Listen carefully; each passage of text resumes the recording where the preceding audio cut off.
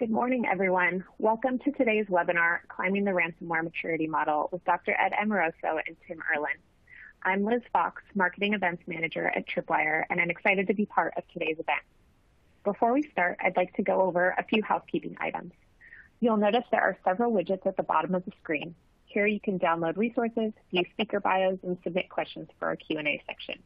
Our speakers will remain on the line to answer questions at the conclusion of the webinar. If you're experiencing technical difficulties, please click on the help widget. We'll also be sending out a follow-up email today with a link to the on-demand webcast and the slides at the conclusion of the webinar. So now let's get on with the event. Take it away, Tim. Thank you, Liz, and welcome everyone to this webinar. Um, today I'm joined with uh, joined by Ed Amoroso, who is the CEO of Tag Cyber, uh, research professor at NYU, and the former CISO at AT&T. Um, Ed has a, a, whole bunch of other accolades, but those are the, the most important, I think, for, for this forum. Uh, welcome, Ed. It's nice to see you, Tim. I'm looking forward to our discussion today. Yeah, me as well. Um, I think it's a, an important topic and certainly a timely one given the, you know, sort of the incident and threat environment that we've seen. Um, so, uh, as you, you don't need to guess because it's the, the title of the, the webinar, we're, we're here to talk about ransomware. And specifically, I wanted to address this conversation towards uh, the idea that there isn't sort of one specific right way to address ransomware and think about it more in terms of a, a maturity curve that organizations can climb because not every organization is at the same place in terms of their ability or willingness or resources in order to address ransomware. Um, but before we get into that, that sort of maturity curve, I thought it would be uh, a little bit fun and also interesting uh, to start with some common myths around ransomware. Um, and Ed, I think you're in a great position to, to talk a little bit about myths that you see um, out there in the in the industry, in organizations that, that people believe that, that really aren't true about ransomware. So let's start with that, Ed. Well, for people listening, I'm guessing that a lot of you are briefing your management, your board, your supervisor, and customers, whomever, um, and one of the first questions that gets asked is, you know, tell me about ransomware. What's the issue? What are the problems? And, um, you know, Tim and I were kind of going through our own experiences here. And there's a few things that pop up a lot that are almost implicit in the question someone might ask you about ransomware or some presumption that they have that I think you can correct. And that we'll list um, uh, maybe two or three of them. The first one is this idea that ransomware is this inevitable thing. Like there's no way you can stop it. It's going to happen. Um, it's just a matter of like uh, doing ransomware detection and response. I'm surprised we don't have uh, companies with RD, R, RDR as their name, you know, ransomware detection and response. Maybe that's coming. Uh, but uh, it might be. it might be. But I, I think it's wrong to just throw in the towel and presume that you're not going to be able to stop ransomware. There's some techniques that you can you can use to to prevent it. Admittedly, this is a tough attack. That's the reason why there's so much attention on this, you know, including our webinar today. But hopefully, as we talk today, as you listen, uh, you may come up with some ideas or some things that you'll see that maybe you hadn't thought of before that could actually be more on the shift left side of the spectrum then shift right. Tim, before I get to the other two, does that that first one make sense to you?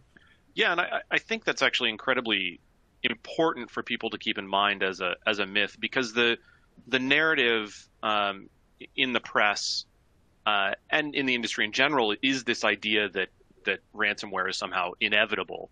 Uh, yeah. Because of course it, it's difficult, if not impossible, to report on ransomware incidents that don't occur. Um, and ransomware, you know, as a as a as a, a technique, has to announce itself in order to be successful. It has to ask for ransom. So if you're if you're writing, uh, you know, for the the cybersecurity industry, ransomware is a a, a great um, type of attack because it will always be discovered eventually, and that gives you something to report on. But it does create this atmosphere of of sort of inevitability, which I think I think it impacts how we as as practitioners you know choose to respond. So it's an important myth for us to to dispel. Yeah, I think so. Now the second one is probably very familiar to the people who are listening, and that's around backups. Because um, I can't tell you how many times I've heard, and I know Tim has as well, um, a discussion, say, with a CIO or director of infrastructure or security person, where you say, "What's um, how you guys handling ransomware?"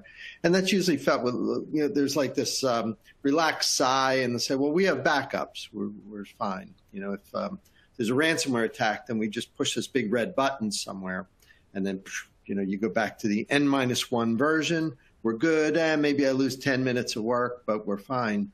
Um, in theory, that, that may be an acceptable component of a ransomware plan. There's no question that you are going to have to have some degree of resilience for your infrastructure, and that's going to include backups. But you better be careful if you assume that just doing a bunch of backups is going to be enough. Um, I mean, the simple, sort of very obvious question is whether the backups become infected. So you certainly have to have some degree of separation there maybe more importantly, the question would be, have you ever actually done it? Did you work through it? Have you tested that? it's a big hypothesis there that you push the red button and something actually happens.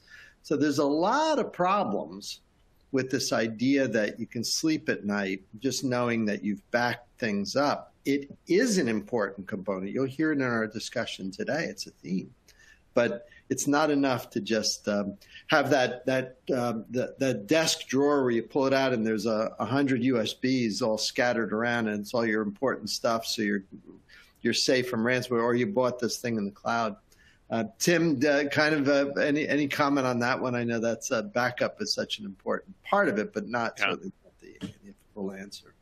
Well, I think there there are two things about that. First of all, this morning uh, when I logged into Twitter I saw a reply to uh, one of the the tweets uh, promoting this webinar, uh, where the person just said backups, backups, backups, keep doing it until it's automatic. So it's definitely a, a common response yeah. um, for uh, ransomware.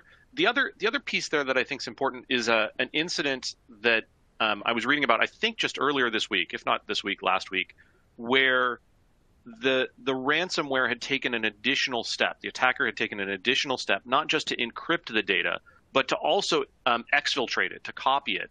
And so they were now ransoming not just access to your data, but they were also essentially blackmailing the customer to yeah. not publish the sensitive data. So that myth that backups are are sufficient, um, I think you're right. They're important, but they don't address uh, the threat entirely. And we also have to keep in mind that as we adopt uh, responses and mitigations for ransomware, the attackers are also going to adapt to the, the changes in, in what, what they would characterize as their threat landscape. Um, and that's important to keep in mind. Yeah, it is funny. Yeah, backup, backup, backup. It's, it's important. I mean, if you it run is. IT infrastructure, I get that. I don't need ransomware. To... You might want to throw a restore in there, though. Backup, backup, restore, backup, backup, and then do that until it's automatic. Good point. Yeah. So the the third myth, the third of three, we'll stop maybe with this third one. We get on with some uh, discussions around maturity and some other things. But the third one is a, is a, another very common one, and this is one I heard all the time when I was back working in telecom because I was in a very large industry where we were clearly a target. There was never a question that if you're a Fortune 10 company, you know, you're a target, of course.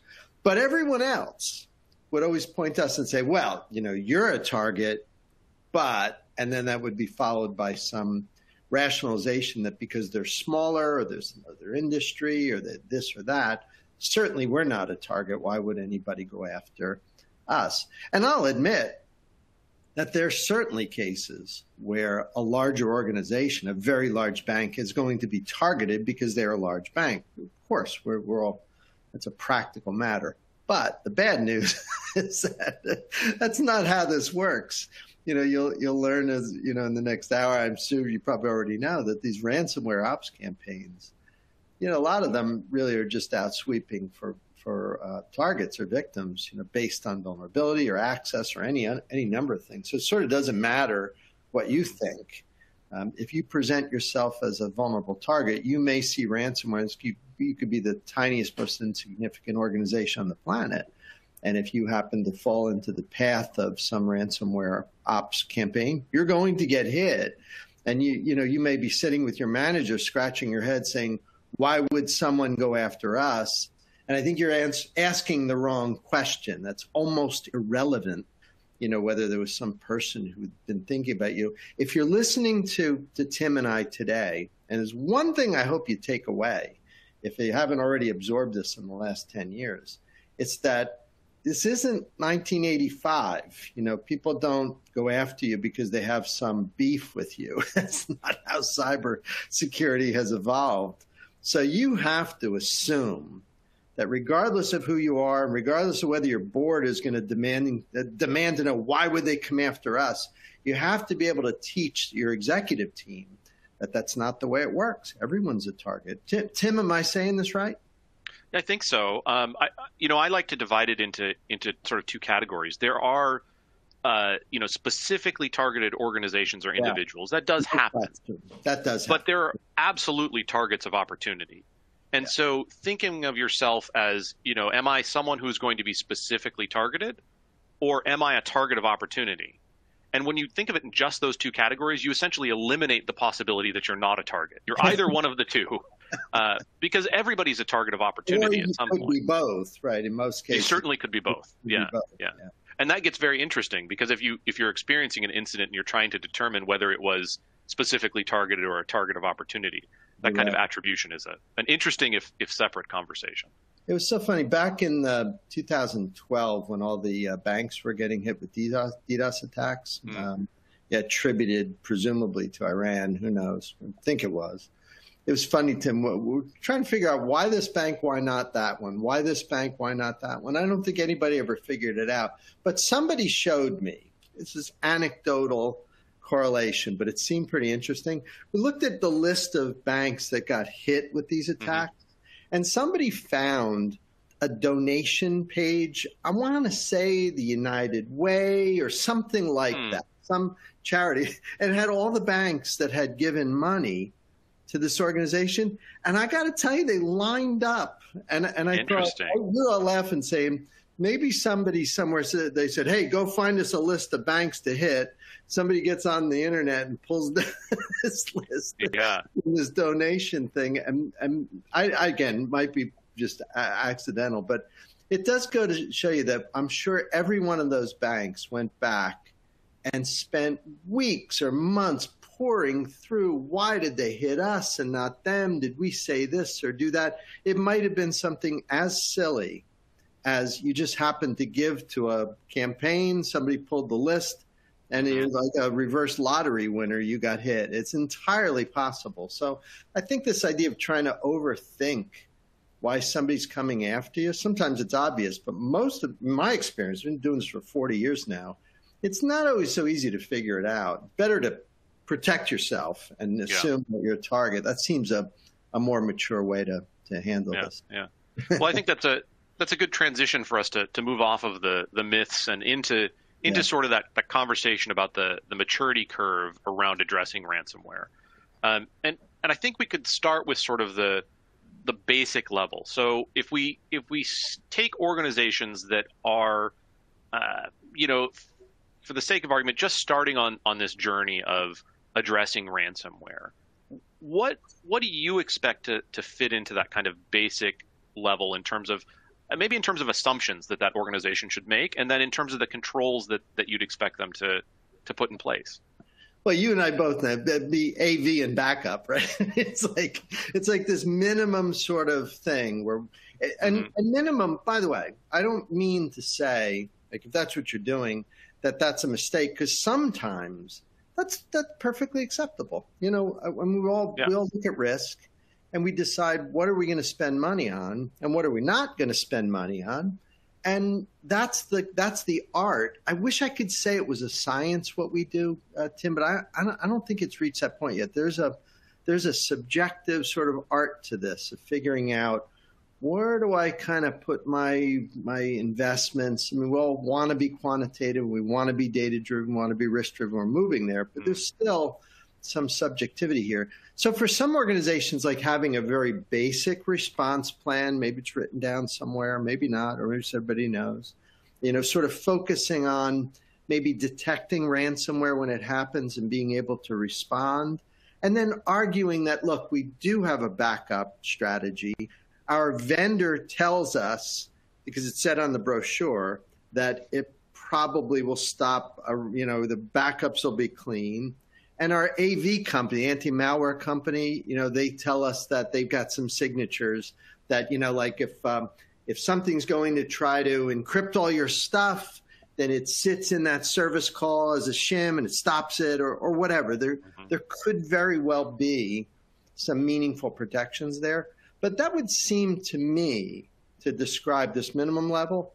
I, I mean, I don't want to be sort of depressing here, but I'm thinking that's 95% of the companies out there, maybe more, are kind of in that mode of we do AV, we got backups, we sort of know what we're doing.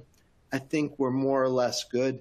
Tim, does that match with your experience? Kind of that that that sort of uh, focus at that uh, basic maturity level.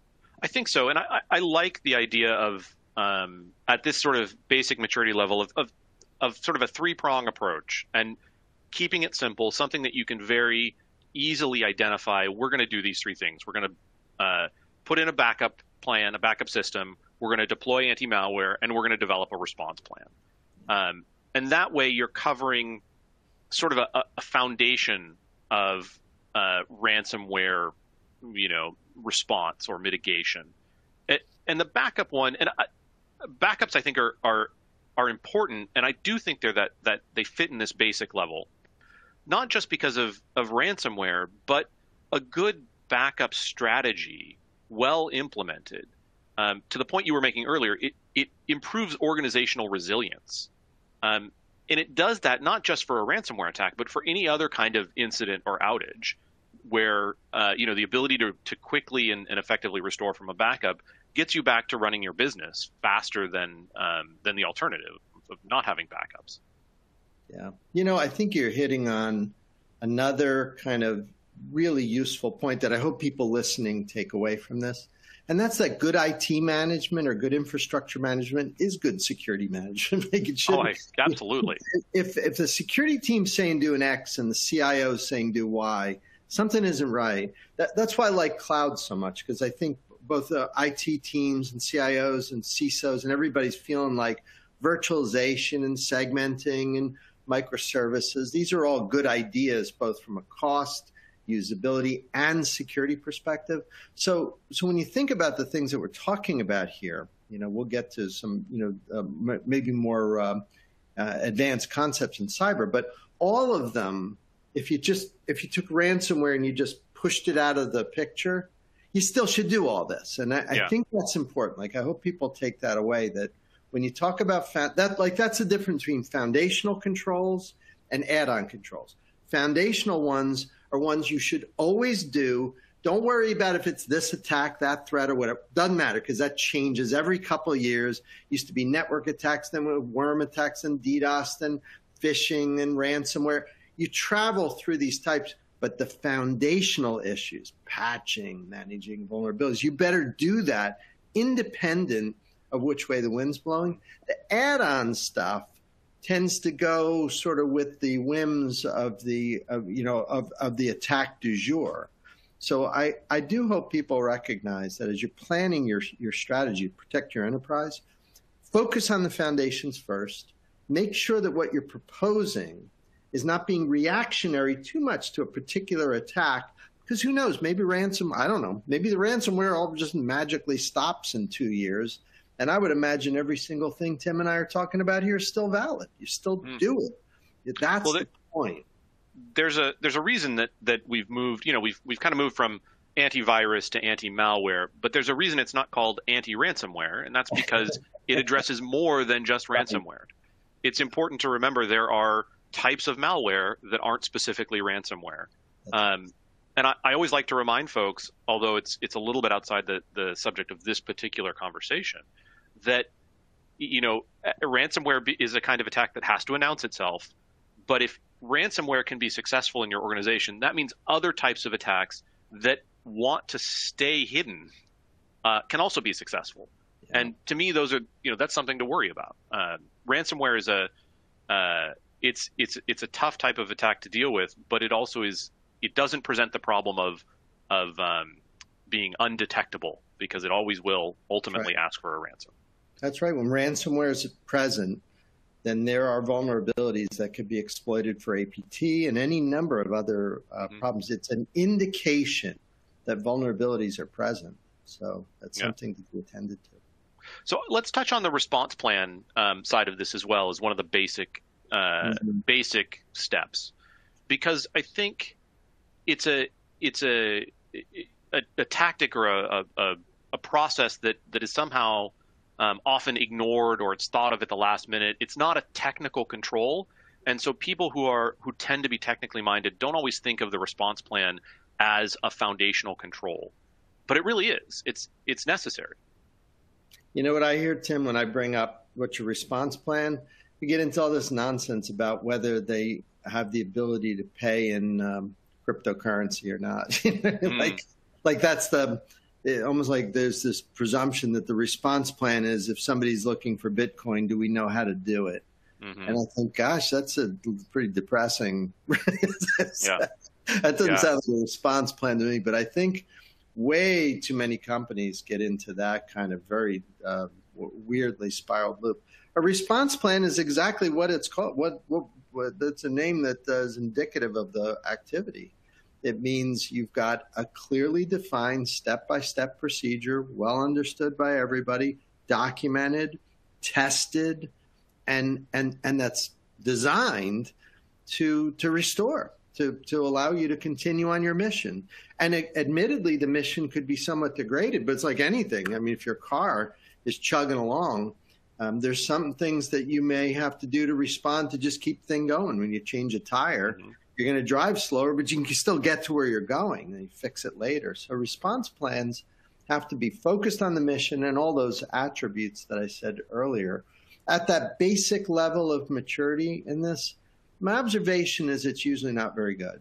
Uh, and usually it's um, pretty thin. As you get to the more advanced levels, there's probably some very um, uh, some gradations in the um, in the completeness of a response plan and definitely in whether it's tested. I would say at that basic level, I, I, don't think people are actually going through quote unquote exercises to see if the response, I, am almost never see that for most companies. They'll yeah, talk about it, but never, never do anything. Yeah.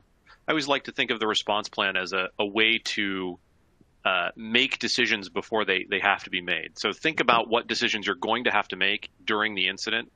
Um, and then make them ahead of time because that removes the possibility that you make the wrong decision during the incident when you're stressed and worried and you're not sure what's going on. Um, it, it makes uh, you know uh, for better decision making throughout that incident. Generally, makes perfect sense. Yeah. So let's let's move off of this this basic level and uh, talk about sort of the, the intermediate level at this point. Mm-hmm. So organization that um, has put in place a you know a backup strategy, has anti-malware deployed, has a, a response plan. Maybe it's a little thin.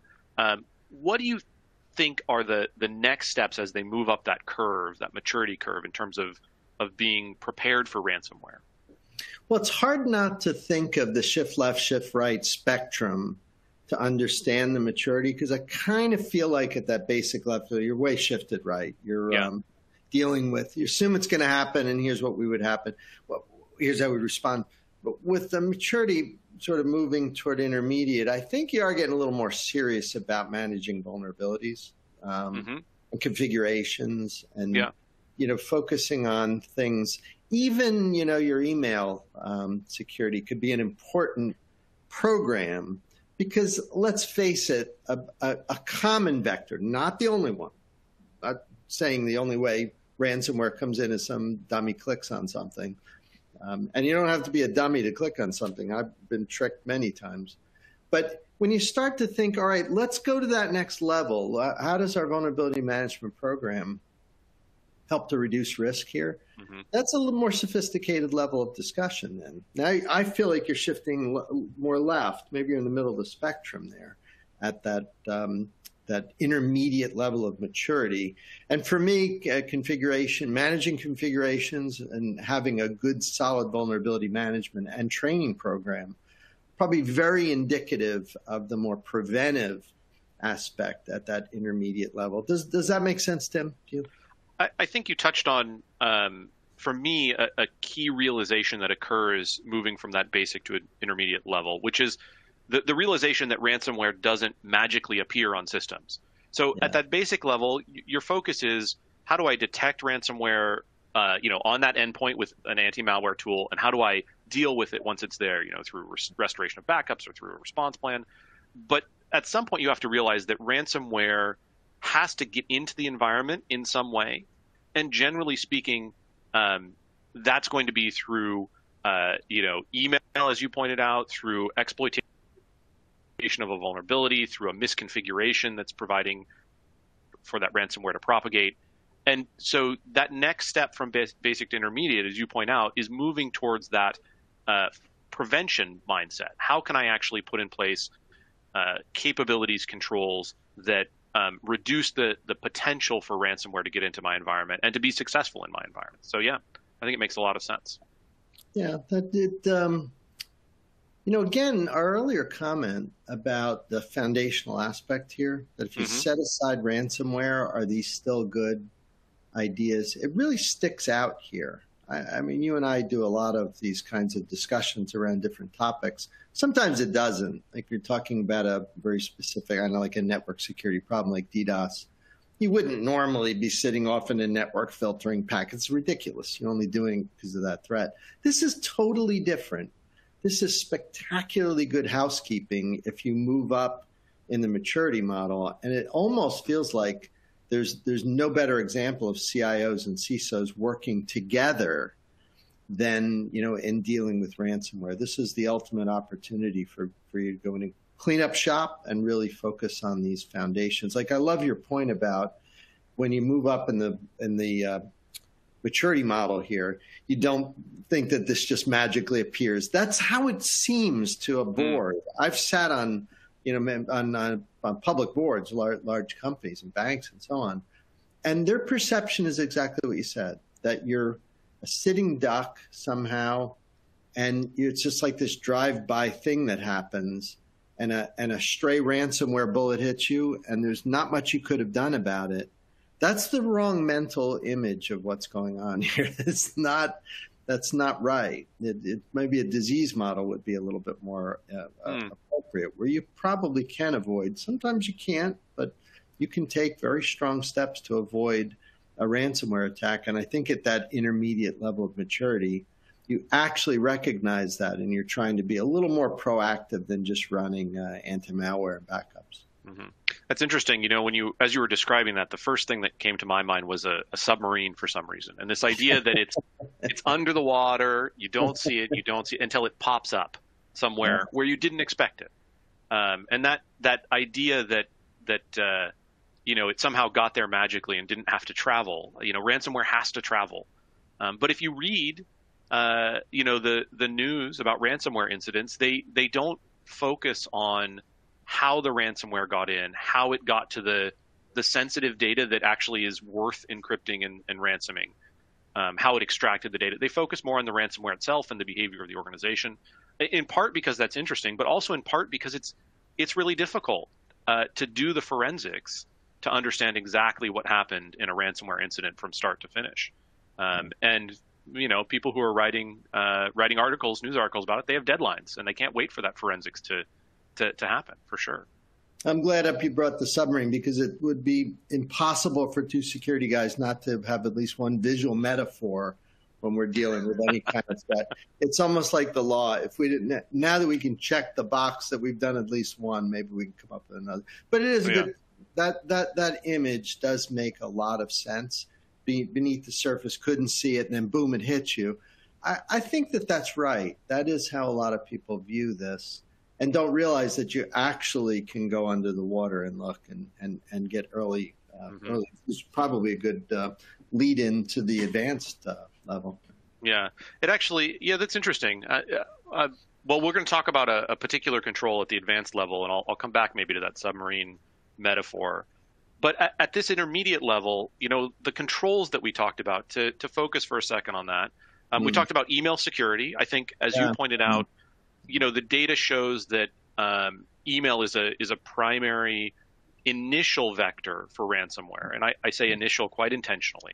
Um, we talked about so the foundational controls, vulnerability management, um, and configuration management. So making sure that you've uh, you're patching vulnerabilities.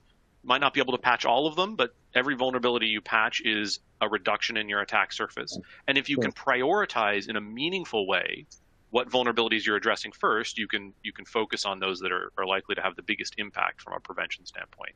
And then the configuration management, focusing on um, are your your systems, are your assets configured securely? Um, do they match, for example, an industry standard like CIS or NIST?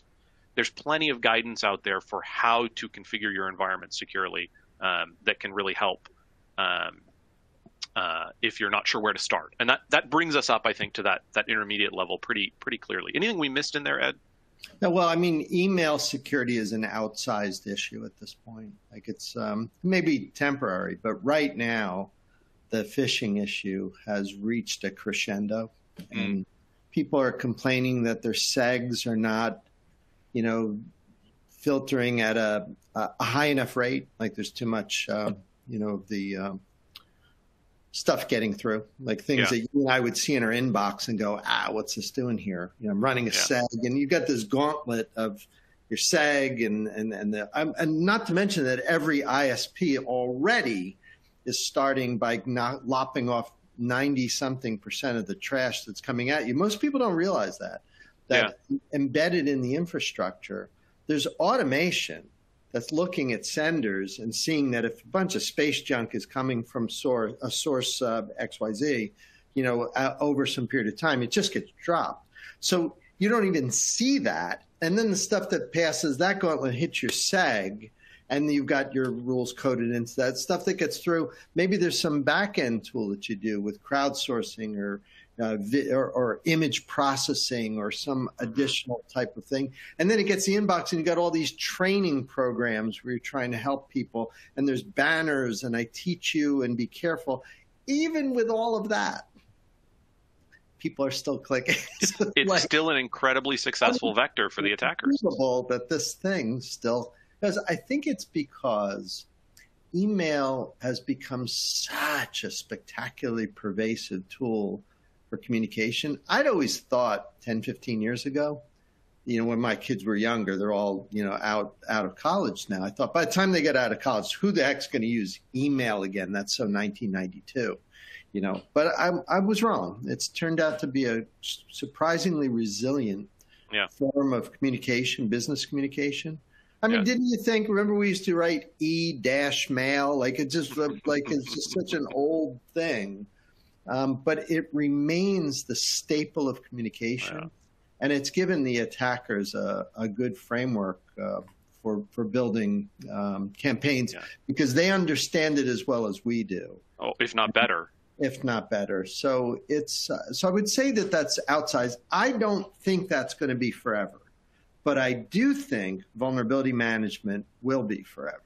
I think that you'll always have to do, you always have to be on your guard with partners, with your service providers, with your technology providers, with your IT team to make sure that you have a pretty good understanding on a minute by minute basis of what vulnerabilities exist that can come back to get you. It's not always just going to be this email thing. That will change, yeah. but vulnerability management that that will that's unfortunately not going to change. It's interesting, you know, as you say that, I, I I'm surprised to think about how how little email has really changed over that 10, 15, 20 year time yeah, span. Sure. It, you know, there are lots of new controls and capabilities, but fundamentally, at its core, it stayed pretty static. Okay same thing. Which Even is, with which is really D, DMARC had, I, I was, when I first saw DKIM and SPF, I was, you know, very big proponent of all of that. I had a number of folks on my team contributing to the standard. And when I saw DMARC came out, I thought, this is great. And a lot of people do a lot, you know, publish DMARC records. But how many people really max out their willingness to drop based on mm-hmm. properly marked uh, email? it hasn't sort of reached the point where we've all jumped in at once because you have to, everybody has to do it at once. Yeah. So I've been disappointed that um, even things like um, encrypted email, yeah, um, it, it it just hasn't caught on. Like if any of the folks watching us right now wanted to send you, Tim, or me an encrypted email, they'd have to do something first. I know they yeah. could figure it out, but it's not just automatic that I can encrypt an email to you. Whereas if I've got a website, admittedly, I'm off talking to a CA and setting myself up, but I can sell something to you without having interacted with you ever before. And yep. through the magic of Diffie-Hellman and, and SSL, I can sell it to you securely. Email's not at that point. We, we just have not gotten to that point.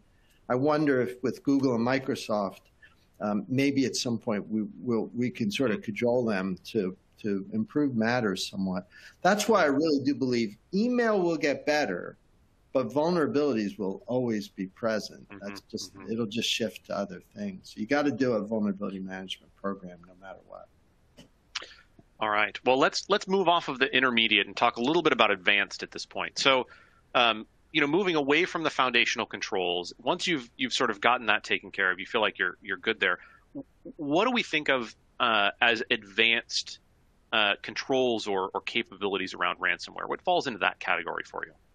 Well, first of all, I'm supposed to be an unbiased um, analyst, but I will admit that this is a place where Tripwire is pretty good. Like if you're if you're looking to get to that next level, when I read the brochures, and I've sat through so many briefings from you guys, this is where you guys are pretty good. You know, we're in integrity monitoring and re- really like, let's start with lateral movement. That would strike mm-hmm. me as one of the first things that is pretty essential. You and I both know, you said it before. I thought you said it pretty well. It's not this magic thing that happens, it's this thing. So I always think of ransomware as ransomware ops. It's not that different from APT. Mm. There are all these stages of activity. Come in through phish, you're going to gain permissions and advance your privilege, you're going to laterally move, all that stuff and and a, a team that's at the advanced level here, where you're dealing with ransomware, is using the same techniques that you'd use to stop a nation state from coming at you and from traversing to stop ransomware, and that's the secret.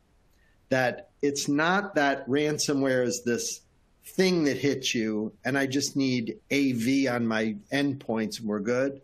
When you accept that ransomware is in the same category as these more advanced operations, then you've reached that level, that advanced level, because you realize it's it's good news, bad news. Good news is you get it. The bad news is you get it. so yeah. Like, like uh oh, this is a little harder than I thought. I I see what you mean. Wow, I need to focus on detecting. Look for early indicators. Check. I need to make sure lateral traversal and so on is covered. Check. I need to make sure I don't have any, you know, systems that are embedded. I'd start at the hardware and harden everything up and get all the vulnerability. Check to do uh, integrity monitoring of my files and infra. Check. Those are the, when you're doing that, you've got an advanced cybersecurity mm-hmm. program for your enterprise. All good stuff to do, but all things that will uh, ultimately really reduce the ransomware risk way down from that uh, you know, earlier basic level. Am I hitting the right things? You, you agree with the points here?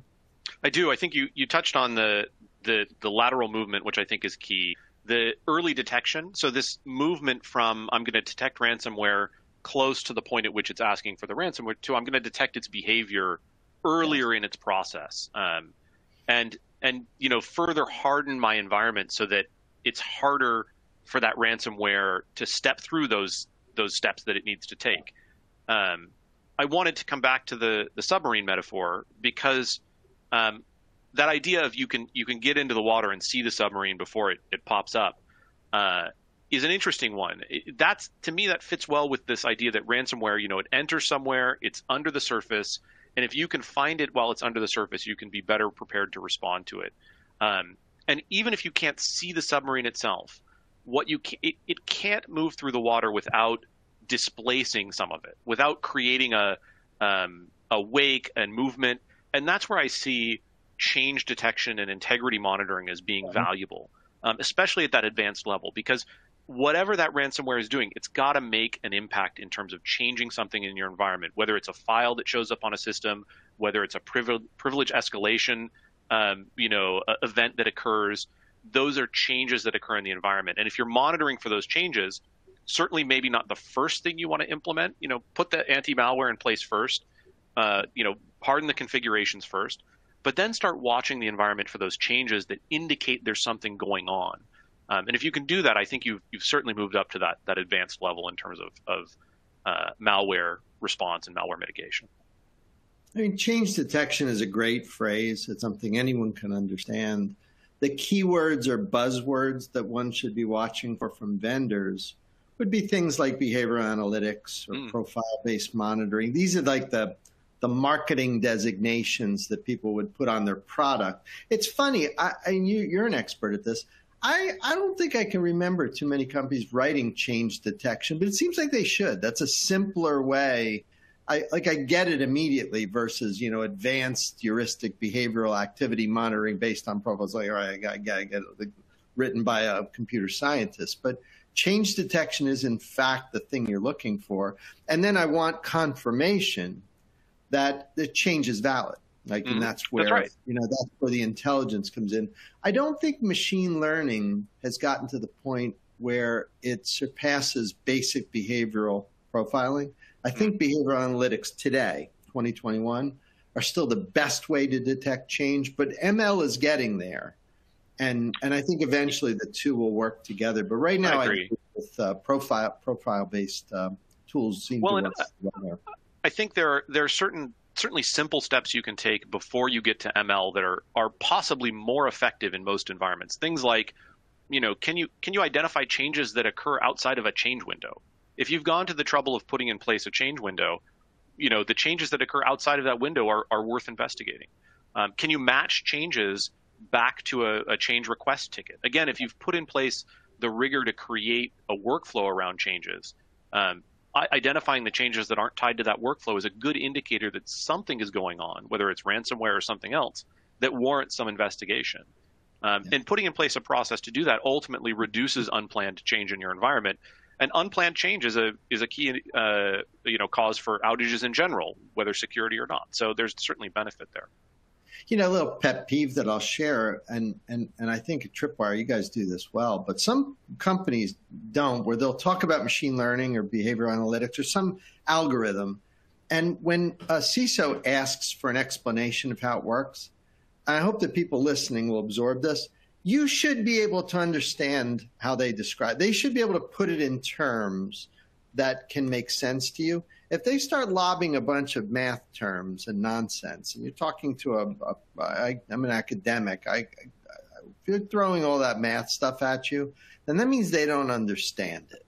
They should be able to describe it to you in a way using, you know, uh, it could even be another one of these metaphors, but um, but demand that if they say I'm using machine learning to do such and such, then they should be able to say something simple like well, when you make a change, we look at different attributes, and we built a model that shows that if the ratio of this to that looks a lot of whack, a lot of times that change is no good.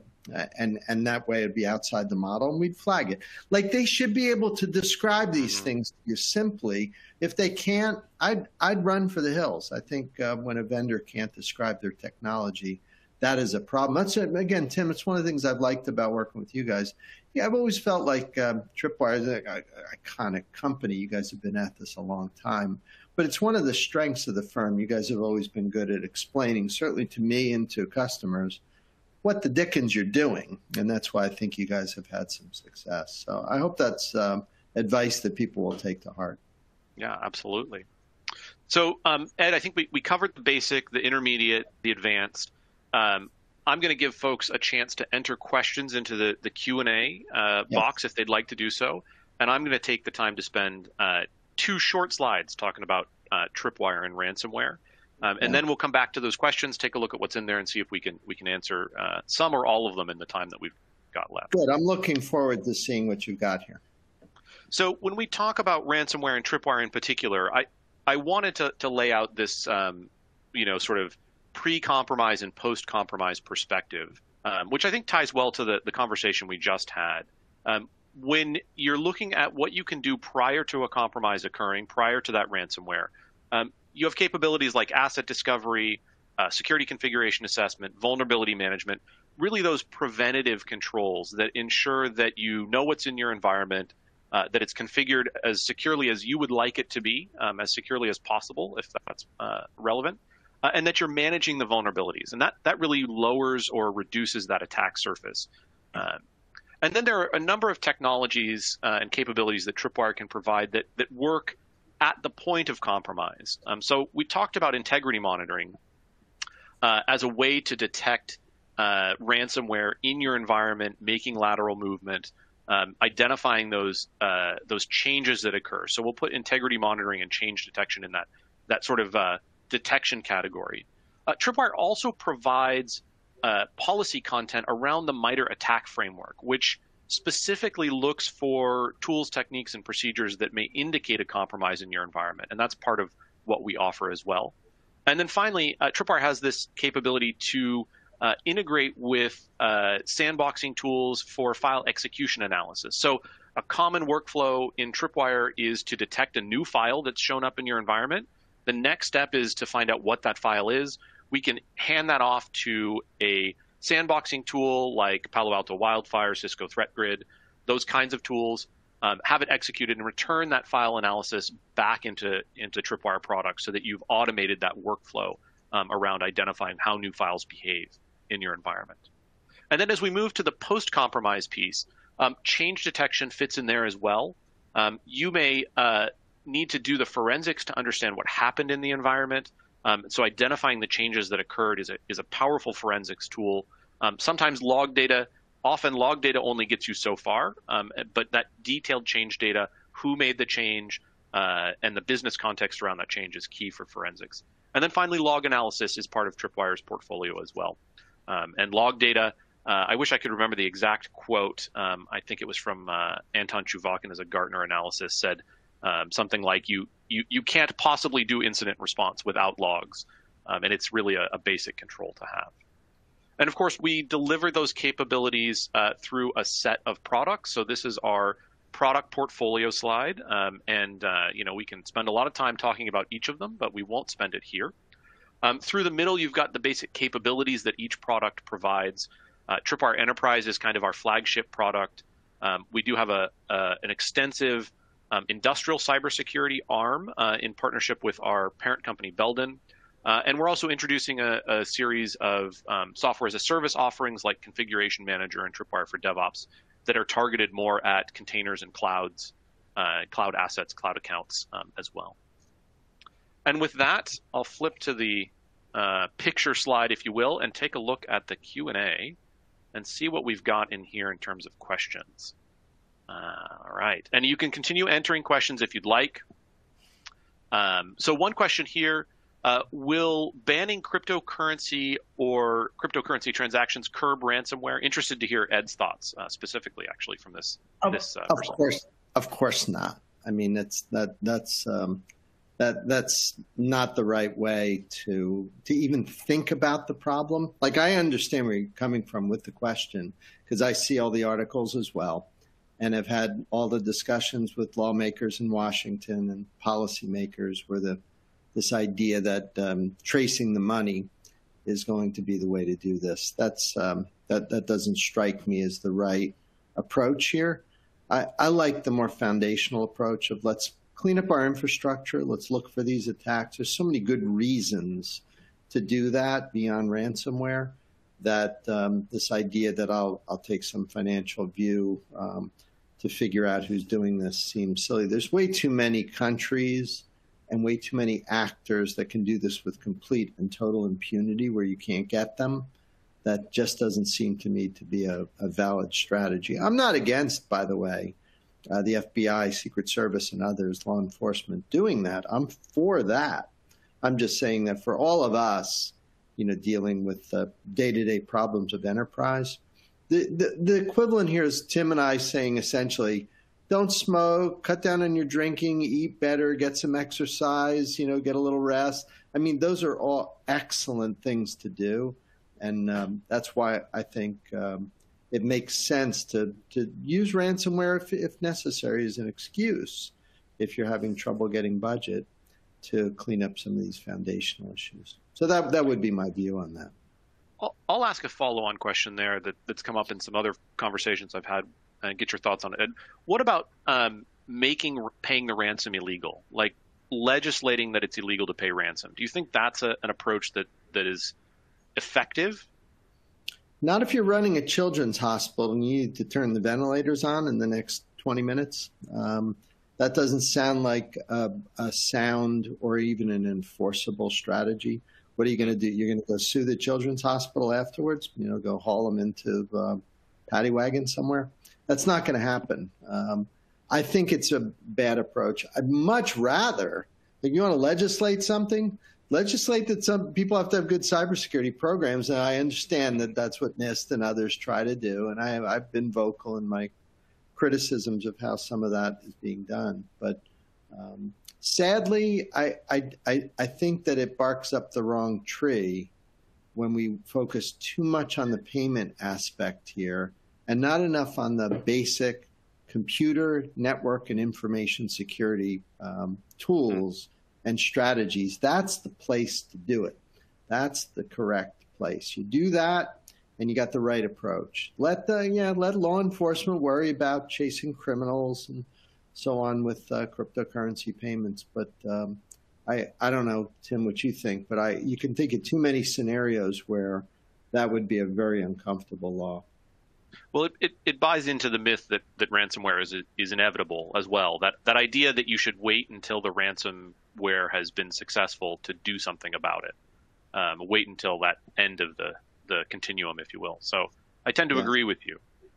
I mean, yeah. generally, you'd like to not have to pay a ransom. Like when you're involved in one of these things, and I've sat on boards where it's been an issue and it's come up, and you start with the presumption that, well, let's try and deal with this uh, sometimes you can't, and then what are you supposed to do? You know? mm-hmm. And experience dictates that because the ransoms are usually very reasonable, and and much of the empirical evidence is that it's often not a repeat systemic issue where you pay and then boom you're hit again. That the temptation is just too great for a lot of organizations to do it. And I, I would always say, if you feel like you need to do it, your children's hospital, you need to turn on the ventilators well, if you're going to do it, use that as day zero, meaning, okay, this will never happen again. And that now we are going to get ourselves to an advanced level of prevention and early detection and lateral movement security, all the things we talked about. Should be talking to Tripwire. Um, then, I, then at least something bad turns into something good you know, if you if you feel so inclined. the Best of all, if you don't have to pay and you've already taken the steps and you can recover. But I think you have to leave that option open in cases where the risk assessment would just dictate that you're better off doing it. And I know there's a lot of people here would say, pay under no circumstances. You know, I I maybe, um, but I think that there are circumstances where um, there's really no other option. Well, if you're going to take that approach of pay under no circumstances, I think you, you, you better have a response plan that deals with that. That's like right. that that requires a response plan to say, here's what we do for every possible scenario that doesn't involve payment because we're never going to pay. Uh, That's right. That's yeah. right. This is not like you're dealing with, you know, terrorists and airplanes and things. This is different. You know, this is a different kind of thing, and uh, there are ways to avoid it. So. Um, okay, so another question here. Uh, do you have a recommendation for a a means or a product to render your backups immutable? Um, not a not an area of expertise for me, but uh, maybe you have something to say about it, Ed. Well, I'm not going to say product. I, that that seems um, inappropriate to get on and talk about specific product. But here's what I would recommend: when you are talking to your infrastructure providers, because a lot of this might be cloud storage providers, it may be cybersecurity vendors that have a tool that purports to do backup. When you do, you can and should engage in the discussion with their team around how they will take you through the scenarios and show how the controls are in place to prevent ransomware attacks from invading, infecting, or degrading the whole purpose of the backup. You should go through that. There are vendors that will take you through that. You all know how to do that. I'm, I'm again, I'm an analyst, and we do help companies. You come to tagcyber.com. Happy to help you with that engagement. But the discussion with the vendor needs to be something that you can resonate with, where they show you. Listen for the controls, test the scenarios, try and understand from a technical perspective how they've built functionality that creates that separation. Because those are the words you want to hear control and separation, isolation. That's the essence of this. It's like I got a bowl of water over here and a bowl of water over there. And one little drop of ink that gets into either one is you're not going to have clear water anymore. It's how do I keep my water clear of this infected ink that's bouncing around? So the isolation controls have to be really strict and carefully enforced. It's not easy, but there are vendors who do it. So go out and check. Yeah. It's not a big deal to go out and get a, a short list of companies that uh, you're probably already dealing with. We're more That's than an, happy to explain It's an interesting topic the way you describe it there because I, I so I spend you know some of my time on the, the enterprise IT security side and some of my time on the industrial cybersecurity side, and uh, there are certainly vendors and tools on the industrial side that have invested a lot more and spent a lot more time working on this this kind of uh, you know um, separation, true separation, true one way communication. Uh, there's a tool. Uh, you know, called the data diode um, that exists on the industrial side. Yeah, be, unidirectional. It would be the more common term. Yeah, absolutely. Yeah, and you don't you don't see that on the enterprise IT side as much, but it, it might be that there's some there's some lessons to be learned there for how uh, organizations segment environments like nuclear power plants. Um, yeah, OT where co- companies buy these unidirectionals. You're right. That's yeah. an excellent point. That that's um, that would not be the type of firm typically that would come to mind when you're thinking about ransomware. But the way unidirectional gateways work is literally a laser you know, yeah. embedded in in some uh, hunk of gear, and you can argue that you know the the TX and RX uh, is only going to go one direction, and you yeah. fake the servers on either side, and you just keep them updated through the unidirectional. It's things like that. That's an example of a control. So you know, finding someone who can help you with unidirectional may be part of it. Um, you, you really do need to engage in discussions with your backup and storage vendors and listen for the controls because many of them they they're no dummies, right, Tim? They they they know that we're holding webinars on ransomware and mentioning backups. So when you're a product manager in that area, you're all over this. This is mm-hmm. job one to convince companies that you can be helpful with ransomware. So you'll have no problem coming up with 10, 10 uh, product teams that'll show up in your conference room and lay out their approach. But it's up to you, the buyer, again, with help from analysts and others, to try and figure out which ones make sense and which ones are just maybe a little bit of PowerPoint magic. so yeah. that's where the industry is right now, that transition from idea to reality. So we've we've gotten to the point where I think I have to pick and choose from the questions that are up here, and I've got one that I think is a, a good one for us to close out on, and, and is interesting. Um, in the in the IT security space, there is this uh, I'll call it a problem that the, the best way to get an organization to invest in cybersecurity is for them to experience a breach, to experience an incident. And do you have any advice on how to get the business executives to invest in cybersecurity before that breach occurs? No. Never mind, it was a terrible question. I have been trying my whole career to do that. It's a great question. Look, you don't take your sneakers off before you get on a train, right? You do before you get on an airplane. Why, why don't you before you get on a train? Because 9 11 involved airplanes, not trains. If 9 11 was a bunch of trains, then you wouldn't be able to do that. I mean, I think the most conductors at most stations would help you carry a bomb onto a typical train. So I'm just saying, unfortunately, maybe it's in something related to human beings, but we tend to get religion when there's a problem. Uh, show me a vegan, and I'll show you somebody who's probably had a heart scare at some point in his or her career. So generally, that is a problem we've lived with for 30 or 40 years it is a good topic to close on because I would go out and charge everyone listening. That is the central issue here. We shouldn't be waiting. That was when we went basic, intermediate to, to mature, Tim. We said basic is you sit back and wait.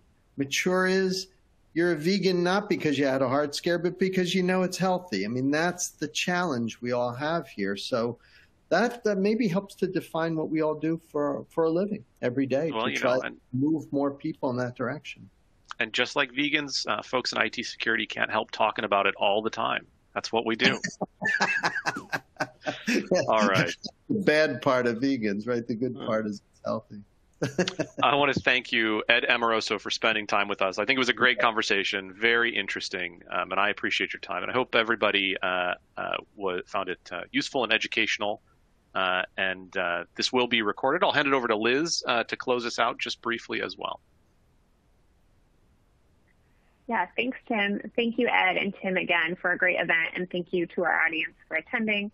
Again, like Tim said, we hope you found this session informative and useful to you. I know we had a few people that joined late or had to leave early, um, so we'll make sure that everyone receives a link to the recording later today. Uh, if you'd also like to receive proof of attendance, please make sure to respond to that follow-up email. So thank you all again and hope you have a great day.